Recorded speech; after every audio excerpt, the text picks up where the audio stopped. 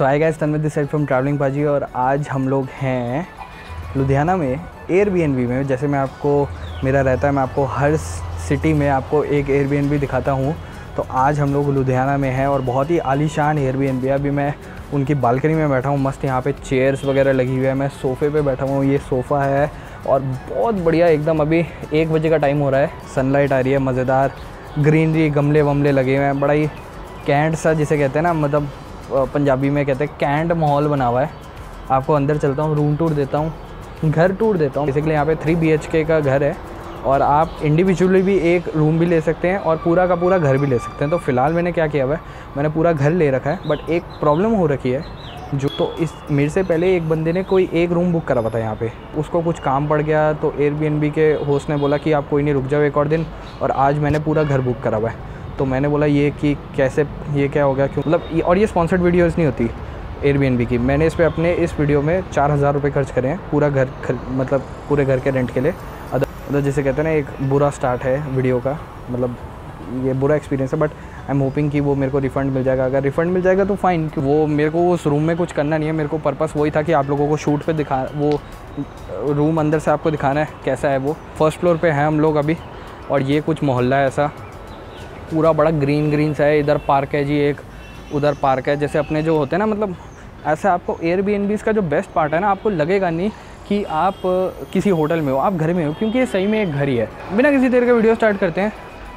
बहुत मज़ा आने वाला है। अच्छी लगे तो लाइक ज़रूर करना और कमेंट करके बताना आपने कभी एयर का एक्सपीरियंस लिया है। बिना किसी देर का वीडियो स्टार्ट करते हैं। थ्री टू वन हाँ तो मैं जैसे आपको बता रहा था, ये पूरा घर जैसे, पूरा माहौल ही घर जैसा बना हुआ है। ये आप बालकनी है, इनकी बड़ी कमाल की बालकनी है। यहाँ पे एक पार्क इधर है, बड़ा सुंदर सा जैसे मोहल्ला टाइप सा बना हुआ ना।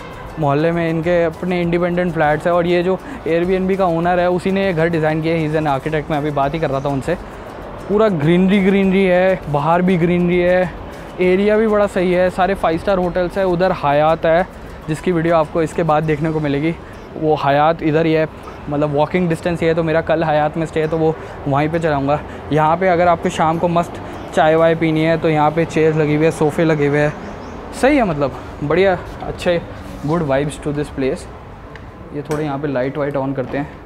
तो ये जैसे घर के अंदर बेल है लाइट है, घर के अंदर हम लोग एंटर करते हैं तो सारी लाइट्स वगैरह मैंने घर के अभी ऑन करी हुई है। ये मतलब जैसे कहते हैं ड्राइंग रूम एरिया है सोफ़े हैं यहाँ पे मस्त, एकदम पूरा कारपेट बिछा हुआ है और एकदम सुंदर है। मतलब सुन रहे हो हॉलीडे इन इतना चार हज़ार का है हॉलीडे इन मैंने पाँच हज़ार का रूम लिया था, इतने गंदे कारपेट थे ये देखो। सफ़ाई हो सकती है कारपेट्स की, ऐसा कुछ लगता है? ये और आपको देख के पता चल रहा है कि मतलब हाँ इसमें डिज़ाइन अच्छे से हो रखा है। अच्छा और यहाँ पे पूरा मतलब पर्दे हैं तो नेचुरल लाइट बड़ी मस्त आएगी यहाँ से। हाँ ये देखो, यहाँ पे लाइट कितनी बढ़िया नेचुरल लाइट आ रही है।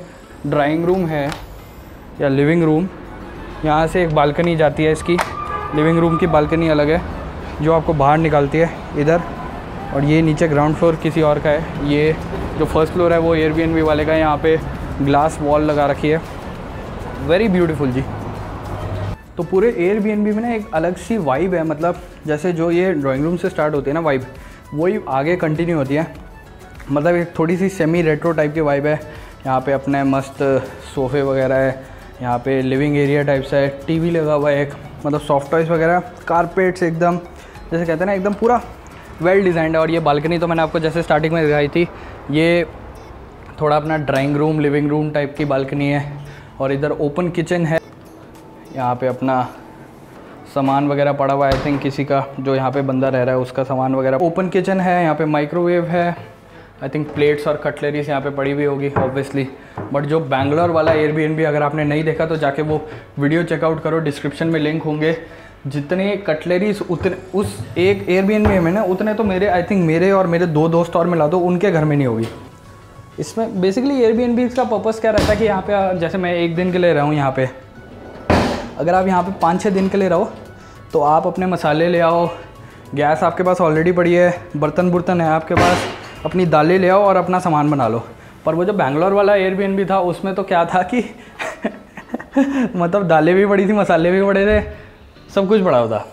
सेमी मॉडुलर टाइप सा किचन मस्त एकदम ओपन किचन है। ये ड्राइंग रूम एरिया है विद अ वेरी वुडन सा डाइनिंग टेबल और ये एक और बालकनी है यहाँ पे। This is the third balcony I think अभी तक मुझे आइडिया नहीं आई थिंक चार पाँच बालकनीज है। This is another balcony with a very different view सारा जो है ना लश ग्रीन है। जो नेबरहुड है, मेरे को वो नेबरहुड ही बहुत अच्छा लग रहा है ये। एकदम जैसे कहते हैं ना फैंसी सा नेबरहुड आसपास के लोगों का भी जो घर है, बहुत ही सुंदर बना हुआ है। लश ग्रीन पेंटिंग सी लगा रखी है जी, आपको एकदम आर्टिस्टी से फील होगा। ये आई थिंक इनका स्टोर रूम है। ये इनका जी, पहला रूम है। आई थिंक यस इधर इसकी अच्छा जी। ये पहला रूम है, जहाँ से एकदम बाहर का व्यू आ रहा है, एकदम बालकनी का। और मस्त यहाँ पे टिश्यू बॉक्सेस रखे हुए हैं। वार्ड्रोब आई थिंक इसमें किसी का सामान पड़ा हुआ है। आई थिंक यहाँ पे ना वो बंदा रुका हुआ है तो उसका सामान पड़ा हुआ है। Let's just move out of this अब वो ताला लगा हुआ था, या तो उसको अपना ताला लेके जाना चाहिए था। आई थॉट मेरे को जो भैया दिखा रहे थे, जो हाउस थे, उन्होंने बोला था कि जो हाउस कीपर थे उन्होंने बोला था कि ये वाला रूम है। तो एनी anyway, चलो जी इसको हम लोग खोलते हैं अब। चेकआउट करते हैं जी कैसा है।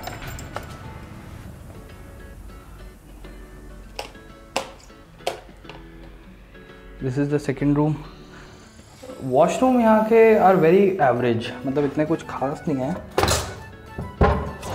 ये तो entire party I don't think this is to be use हाँ। यहाँ पे भी कोई गिटार पड़ा हुआ है। ये एक और आई थिंक बालकनी है। तो भूल ही चुका हूँ आई थिंक यहाँ पे पाँच या छः बालकनी तो मैंने फिगर आउट कर ही ली है। This is the fifth balcony यहाँ का इंटीरियर वर्क भी बड़ा अच्छा हो रखा है। ये है जी। ऐसा से कुछ है वाईफाई का पासवर्ड वगैरह डाल रखा है। पहला रूम ठीक है मतलब इतना कुछ खास रूम वगैरह बहुत सुंदर है देखने में no doubt like the room is very pretty in everything but ये वार्ड्रोब नहीं है एंड पहला रूम तो मतलब छोटा सा था, सबसे बड़ा वो वाला रूम था और ये वाला रूम है जिसमें अभी मैं रुका हुआ हूँ फ़िलहाल तो हाल फ़िलहाल। ये भी ठीक ठाक साइज़ का है, ये यहाँ का वॉशरूम है। सही मतलब ठीक है washroom is just fine like washroom थोड़ा सा कुड़ा बिन अदरवाइज़ प्रॉपर्टीज़ बड़ी सही है, यहाँ पे मतलब आपका चेयर्स वगैरह है और ये हमारे साथ अभिषेक है। यहाँ पे एकदम मतलब सामान रखने की जगह आई थिंक एक रूम में तो सामान रखने की जगह है ही नहीं। हाँ। और ये आई थिंक इसकी पाँचवीं या छठी बालकनी है। सिक्स बालकनी आई गेस बहुत सारी बालकनी है इस घर में। एसी है। तो बेसिकली तात्पर अब मुझे यहाँ का इस घर का आइडिया हो चुका है। ये घर जो है ना बेसिकली बहुत सुंदर बनाया हुआ है no doubt but I would recommend कि आप यहाँ पे आइए। तो आप सिर्फ़ एक ही रूम लीजिए इनका। तो दो लोग इधर रुक जाओ, दो लोग उधर रुक जाओ। वो वाला रूम तो उसमें सामान रखने की जगह नहीं है, यहाँ पे वहाँ पे सिर्फ़ सोने के लिए आपको सामान कहीं और वगैरह रख दो। तो ठीक है otherwise but property is nice very for Ludhiana standards very good reasonable है रेट फोर थाउज़ेंड रुपीज़ के हिसाब से I think up to six people यहाँ पे आ सकते हैं। छः लोग अगर आते हैं, चार हज़ार रुपये तो आई थिंक सेवन हंड्रेड के less than seven hundred per person आपका प्राइस पड़ता है। फ़िलहाल तो बढ़िया लगा मुझे। अब बाकी बातें ना अभी यहाँ से निकलते हैं और आपसे फिर शाम को या रात में या जैसे भी रहता है मिलते हैं और देखते हैं वो हमें कितना रिफ़ंड देते हैं। पंद्रह सौ रुपये तो आई थिंक रिफ़ंड मिलना चाहिए हमें। कायदे से एक रूम का किराया अठारह सौ रुपये है। लेट्स सी अगर वो पंद्रह सौ रुपये रिफ़ंड देते हैं देन इट्स फाइन अब उनकी भी कोई गलती नहीं है कि बंदे की मजबूरी आ गई। उन्होंने तो एक गुड होस्ट होने के नाते हेल्प ही करी अब जैसे मेरी कोई मजबूरी आ जाए कि मेरे को एक दिन लुधियाना में और रुकना पड़ जाए, मैं उनको बोलूँ, जी, मेरे को रुकने दो, आपका जो भी रेंट है, मैं आपको दे दूँगा। तो विच इज़ फाइन बट जो दूसरा बंदा है, वो सफ़र करता है। तो उन्होंने हेल्प तो करी है बट एट द कॉस्ट तो अगर वो मेरी कॉस्ट रिम्बर्स कर रहे हैं तो मेरे को कोई दिक्कत नहीं है, कोई नहीं, आप हेल्प करो। समाज सेवा करना कोई बुरी बात नहीं होती। नहीं जब मैंने आप लोगों से लास्ट बात की थी तो बारह घंटे पहले बात करी थी एक बजे। फिर एक बजे हम लोग खाने निकले। ओ भाई खाते खाते शाम हो गई खाते खाते रात हो गई खाते खाते देर रात हो गई। अभी पहुँचे एयरबीएनबी में। और एक चीज़ मैं अब जो रात में आके रियलाइज़ कर रहा हूँ ना कि यहाँ पे बाकी सब बढ़िया है बट ये क्योंकि एयरबीएनबी जो है, इसका इंडिविजुअल कमरा भी आप ले सकते हो तेरह सौ रुपये का और पूरा घर चार हज़ार का है तो ये थोड़ा हॉस्टल टाइप का बना हुआ है। तो यहाँ पे मैं अभी टीवी में मैं क्या करता हूँ कभी भी आता हूँ मैं टी लगा देता हूँ ऐसे कुछ भी टाइम पास देखते रहता हूँ। तो टी वी यहाँ पे ना एक बहुत बढ़िया दीवार में भी टी वी लग सकता है जगह भी है लगाया हुआ है। होते हैं सामान वगैरह सब बिखरा बिखरा पड़ा हुआ है इधर उधर बराबर उसको सपेटते हैं चीज़ें चार्ज करते हैं कर के और थोड़ी नींद वींद ले लो के आपसे सवेरे बात करते हैं ठीक है? चलो।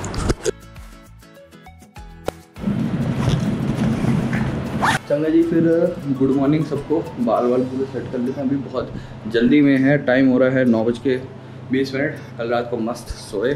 एसी वगैरह रूम वगैरह। अब मेरे को रियलाइज़ हो रहा है, ये रूम काफ़ी अच्छा है। बहुत जल्दी में निकलते हैं। आपसे बात करता हूँ। थोड़ी दोपहर हो ओके जी। चाबी दोनों ले लिए। ठीक है। तो फाइनली चेकआउट वेकआउट यहाँ से सब हो गया। जैसे आपको बताया था, चार हज़ार का रूम पड़ा था। पंद्रह सौ रिफ़ंड दे दिया था, क्योंकि एक बंदा रुका हुआ था। लोकेलिटी एकदम पॉर्श वाली है जी।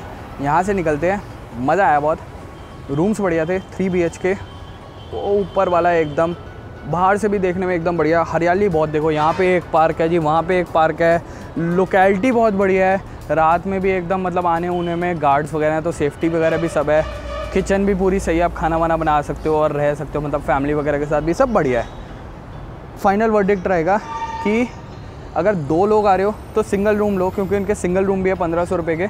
और अगर दो से ज़्यादा आ रहे हो तो ऑब्वियसली पूरा घर ही लेना पड़ेगा। तब घर लेने का फ़ायदा है, दो लोगों में घर लेने का।